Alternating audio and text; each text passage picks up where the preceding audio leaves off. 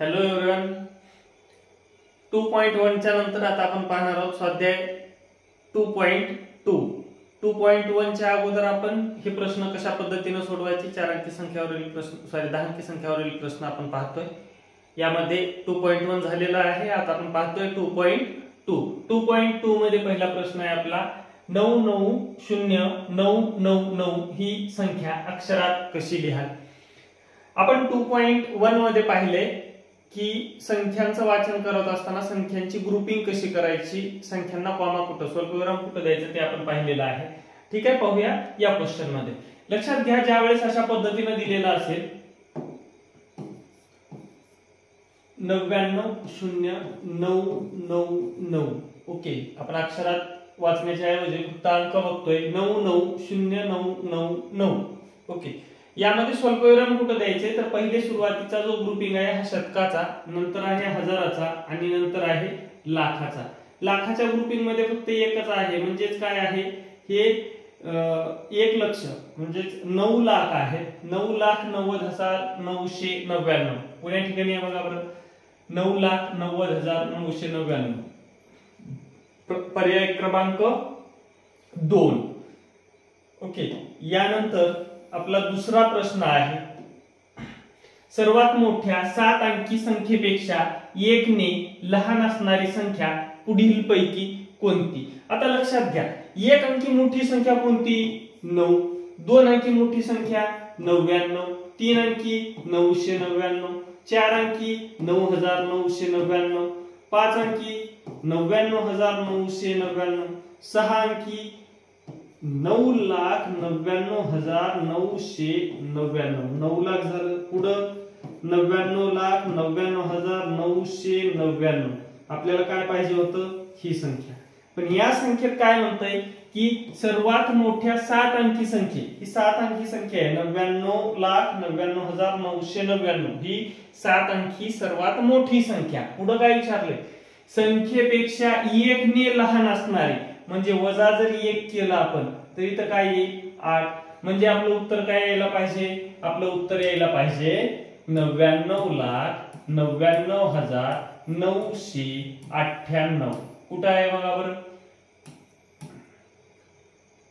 इथं तर येणार नाही कारण नऊच आहे. इथं पण नऊ आहे हे पण येणार नाही इथं शून्य आहे हे पण येणार नाही. आपलं उत्तर कुठं आहे? इथं. हे बघा. नव्याण्णव लाख नव्याण्णव हजार नऊशे अठ्ठ्याण्णव. हा झाला आपला दुसरा प्रश्न. यानंतर पाहूया आपण तिसरा प्रश्न. नऊ दशलक्ष नऊ हा प्रश्न महत्त्वाचा आहे. लक्षात घ्या. नऊ दशलक्ष नऊ गुणिले अगोदर दशलक्ष आपण करून घ्यावं लागेल. म्हणजेच आपलं उत्तर येईल नव्वद लक्ष. नव्वद लाख. असं येईल. आणि त्यात किती आहेत आणखी पुढं? नऊ. म्हणजेच आपलं खरं उत्तर. फायनल आन्सर काय येईल? नव्वद लाख नऊ. कुठे आहे बघा बरं? मध्ये किती शून्य येतात? पाच. इथे किती आहेत? चार. इथे किती आहेत? पाच. इथं आहे आपलं उत्तर. इथं का नाही येणार? कारण हे हजार लाख आणि ही नऊ कोटी आहे. म्हणून हे आपलं उत्तर येणार नाही. ओके. आणि यात तर नव्वद हजार नऊ आहे. आपल्याला इथं नऊ दशलक्ष असं दिले सगळ्यात महत्वाचं या प्रश्नामध्ये समजून घेत असताना नऊ दशलक्ष. नऊ लक्ष नाही. नऊ लाख नाही. आपल्याला इथं किती आहेत? नव्वद लाख आहे. आणि नव्वद लाख कसं? नऊ दशलक्ष कसं काढायचं आपल्याला? नऊ गुणिले दहा लाख.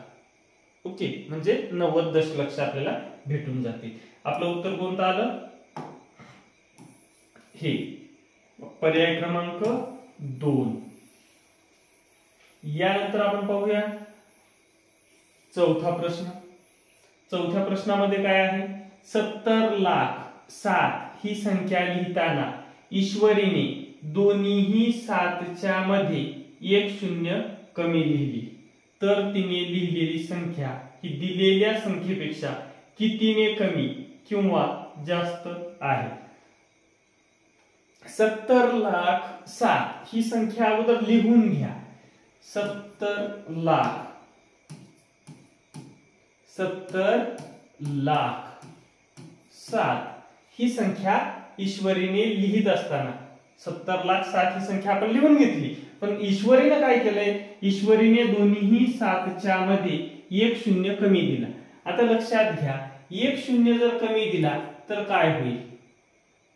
एक शून्य जर कमी दिला तर काय होईल? सात शून्य शून्य. ओके? शून्य शून्य सात. एक शून्य काय झाला? कमी झाला. एक शून्य जर कमी केला तर निश्चितपणे दहा पट संख्या कमी होणार आहे. पण कशी होईल ते आता पाहू लक्षात घ्या. सात मधून सात गेले शून्य राहिले. इथं काय होईल? शून्य शून्य. आपण वजा करतोय मोठ्या संख्येतून लहान संख्या. आता ईश्वरीनं जे बनवलेली संख्या आहे ती संख्या लहान आहे. म्हणजे निश्चितपणे ईश्वरीनं जे काही उत्तर काढलेलं आहे ते कमी होणार आहे. पण कितीने कमी होणार आहे ते पाहूया. आता इथं बघा. दहा मधून सात गेले तीन राहिले इथं किती राहिले? सहा. त्रेसष्ट लाख ने कमी असं उत्तर पाहिजे. हे काय आहे? कमी केलंय आपण. ओके. इथं बघा बरं. हे काहीतरी वेगळंच दिलेलं आहे आन्सर ह्याचा आणि आपल्या उत्तराचा कुठंच संबंध नाही. हा पण कुठंच संबंध येणार नाही. हा हे आहे. पण हे ने जास्त आहे. जास्त. आपलं काय उत्तर? ईश्वरीने शून्य कमी केलाय म्हणजे ते कमी येणार आहे. म्हणून निश्चितपणे आपलं उत्तर जे आहे ते पर्याय क्रमांक चार. त्रेसष्ट लाखाने कमी होईल. ओके. हा झाला चौथा प्रश्न. चौथ्या प्रश्नानंतर आपण पाहतोय पाचवा प्रश्न. नऊ नऊ शून्य शून्य शून्य शून्य शून्य ही संख्या अक्षरात लिहा. आता अक्षरात लिहित असताना मी सांगितलंय की ग्रुपिंग करा. ग्रुपिंग केल्यानंतर आपल्याला छानपैकी उत्तर काढायला सोपं जाईल. ओके पहिला ग्रुप शतकाचा दुसरा हजाराचा आणि तिसरा लाखाचा. लाखामध्ये काय येतात? नव्वद लाख नऊ लाख. नव्याण्णव लाख. नव्याण्णव लाख. हे बघा पर्याय क्रमांक दोन. आपल्याला ग्रुपिंग करता आली पाहिजे. पहिली शतकाची दुसरी हजाराची ही आणि तिसरी लाखाची चौथी कोटीची. कसा क्रम सांगतोय मी? उजवीकडनं डावीकडं. उजवीकडनं डावीकडं. ओके? यानंतर पुढचा प्रश्न आहे आपला. सर्वात मोठ्या दहा अंकी संख्येचे योग्य वाचन दर्शवणारा पर्याय निवडा. ओके? आपण दहा अंकी संख्या अगोदर लिहून घेऊया. दहा अंकी संख्या. आता लक्षात घ्या दहा अंकी संख्या लिहित असताना फक्त दहा स्थानिक किमती. म्हणजे शून्य देऊन घेऊया. आपण ओके. एक एक दशक शतक. हजार दस हजार. लक्ष दस लक्ष. कोटी दस कोटी. अब्ज दस अब्ज. किती झाले ते अगोदर मोजून घेऊया. एक दोन तीन चार पाच सहा सात आठ नऊ दहा. म्हणजे आपल्याला इथं ह्या एका शून्याची गरज नाही. हे दहा झाले. ओके. एकक दशक शतक. हजार दस हजार लक्ष दस लक्ष कोटी दस कोटी आणि अब्ज. किती आहे? अब्ज. दहा अंकी संख्या म्हणजेच काय येणार? एक अब्ज. अकरा अंकी संख्या म्हणजे दस अब्ज. ओके. तर अब्ज कुठं आहे बघा बरं? पर्याय पाहूया? नऊ कोटी नव्याण्णव लक्ष नव्याण्णव हजार नऊशे नव्याण्णव. सर्वात मोठ्या दहा अंकी संख्येचे योग्य वाचन दर्शवणारा पर्याय निवडा. सगळ्यात मोठी संख्या आपण इथं शून्य दिले. म्हणजे आपल्याला काय करावं लागेल? अब्ज नव्याण्णव कोटी नव्याण्णव लाख नव्याण्णव हजार नऊशे नव्याण्णव. अब्ज कुठं आहे? हे बघा. सगळ्यात मोठी संख्या म्हणजे इथं पण काय यायला पाहिजे? नाही यायला पाहिजे. इथं पण यायला पाहिजे नाही.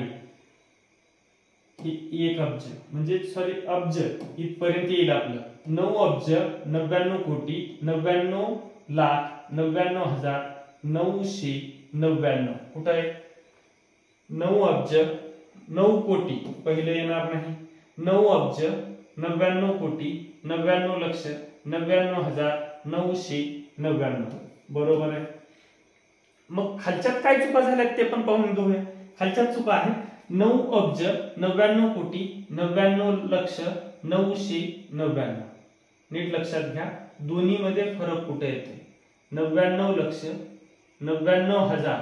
इथं नव्याण्णव हजारच घेतले नाही आपल्याला हे दिसायला इथपर्यंत सेम येत आहे पण नव्याण्णव हजार घेणं गरजेचं होतं. नाही घेतलं. म्हणून हा पर्याय येणार नाही. नव्याण्णव कोटी. म्हणजे हे तर येणारच नाही. कारण आपली संख्या जाते अब्जापर्यंत. त्यामुळे हे पण येणार नाही. मग आपलं उत्तर कोणतं आलं? दोन. नऊ अब्ज नव्याण्णव कोटी नव्याण्णव लक्ष नव्याण्णव हजार नऊशे नव्याण्णव. ओके. यानंतर आपला पुढचा प्रश्न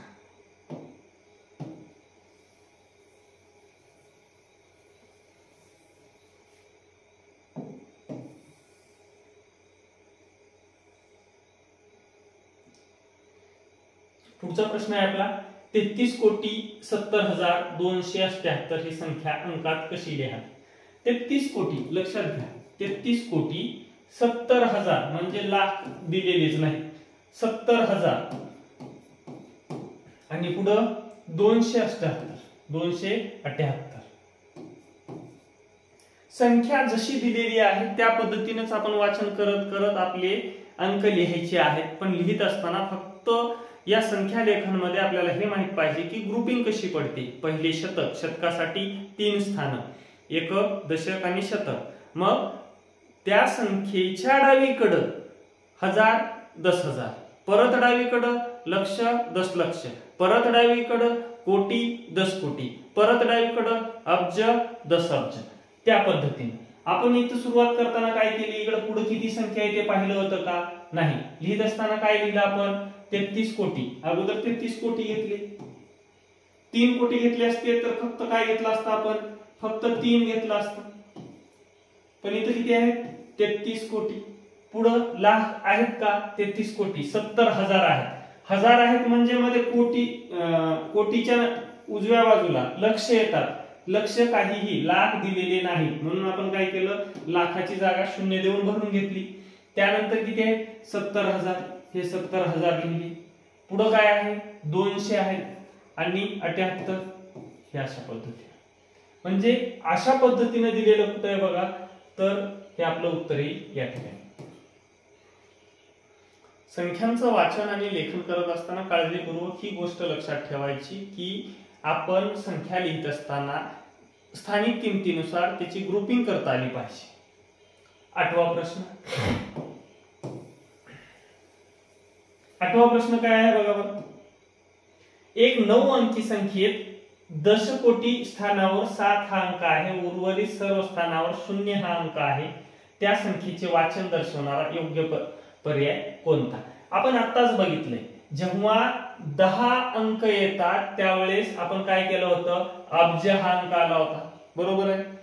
तर नऊ असतील तर काय येणार? दस कोटी येईल आणि काय म्हणतोय? तर दस कोटी स्थानावर सात आहे व उर्वरित सर्व स्थानावर शून्य अंक आहे म्हणते. तरी सुद्धा आता लक्षात घ्या हे अशा पद्धतीने येणार आहे. हे किती आहे? दस कोटी. लक्ष हजार एक शतक दशक एकक. एक दोन तीन चार पाच सहा सात. ओके. एक नऊ अंकी संख्येत दशकोटी स्थानावर सात हा अंक आहे. नऊ आहेत का बघा? हे तीन चार पाच सहा सात आठ नऊ. नवव्या स्थानावर कोण आहे? सात. आणि नवं स्थान कशाचं आहे? एकक दशक शतक हजार दस हजार लक्ष दस लक्ष कोटी दस कोटी. दस कोटी स्थानावर काय आहे? सात. सात घेतलं. तर उर्वरित सर्व स्थानावर शून्य आहे. आपण शून्यच घेतलाय. शून्य अंक आहे. त्या संख्येचे वाचन दर्शवणारा योग्य पर्याय कोणता? एकक दशक शतक हजार दस हजार लक्ष दस लक्ष कोटी दस कोटी. सत्तर कोटी. कुठं आहे बघा बरं? सत्तर कोटी. पर्याय क्रमांक दोन. ओके. यानंतर प्रश्न आहे नववा. पंचाहत्तर लक्ष. मी अगोदरच डिलीट करेन. पंचाहत्तर लक्ष नऊ हजार पाचशे पस्तीस. सोपं एकदम. काय दिले? पंचाहत्तर लक्ष. नऊ हजार. दस हजार रिकामा आहे. ज्या ठिकाणी रिकाम आहे त्या ठिकाणी शून्य द्या आणि हे नऊ हजार.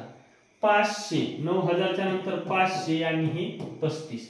कुठं आहे बघा बरं पंच्याहत्तर शून्य नऊ पाचशे पस्तीस. पंच्याहत्तर शून्य नऊ पाचशे पस्तीस. पर्याय क्रमांक तीन. मी पुन्हा एकदा सांगतो या प्रश्नामध्ये काय आहे काय घडलंय. तर पंच्याहत्तर लक्ष इतकं झाल्यानंतर पंच्याहत्तर लक्ष झाल्यानंतर नऊ हजार आहेत. पंच्याहत्तर लक्ष घेतले पण डायरेक्ट नऊ हजार घ्यायचे का? नाही. तर दस हजारच्या ठिकाणी काहीच नाही म्हणून इथे शून्य घेता आला पाहिजे. तरच आपलं उत्तर बरोबर येईल नाहीतर आपलं उत्तर शंभर टक्के चुकेल. ओके? आता ह्या प्रश्नाचं उत्तर किती आलंय? पंच्याहत्तर कोटी नऊ हजार पाचशे चौतीस. इथं आपलं किती आहे? पस्तीस. म्हणजे हे बघा. या संख्येनंतर येणारी क्रमिक संख्या पुढील पैकी कोणती? हा. आपण अर्धा प्रश्न वाचला की उत्तर चुकता आपला? इथं आपलं काय झालंय? पुढील संख्या विचारले पाचशे पस्तीसच्या नंतर पुढची संख्या कोणती येते?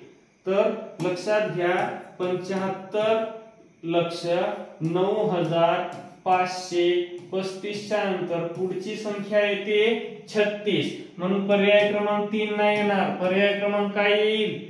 चारी. प्रश्न अर्धा वाचला आपण चुकलो. प्रश्न पूर्ण वाचला तर आपल्याला पूर्ण मार्क भेटतील. त्यामुळं घाई करायची नाही. आणि हा प्रश्न आला होता दोन हजार बावीसच्या स्कॉलरशिप परीक्षेमध्ये. ओके? यानंतर पुढचा प्रश्न आहे आपला दहावा.